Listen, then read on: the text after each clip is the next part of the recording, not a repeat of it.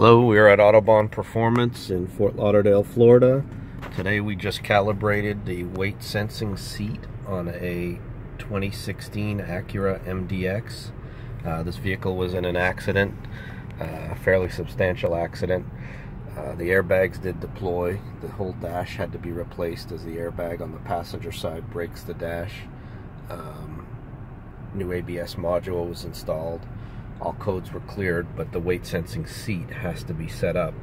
They have a weight sensing seat so it can detect uh, whether a child is in the seat, a child uh, uh, child seat is in the seat with a child in it, or uh, it can also set the airbag off at different crash intervals depending on the weight of the person in the seat. Uh, helps keep people from being hurt from the airbag.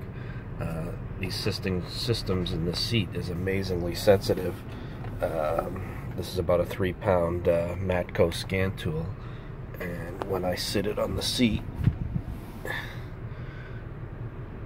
the weight reads it's three and a half pounds and it's uh, amazingly accurate. Uh, thanks for watching our video today and uh, check back later for more videos. Thank you.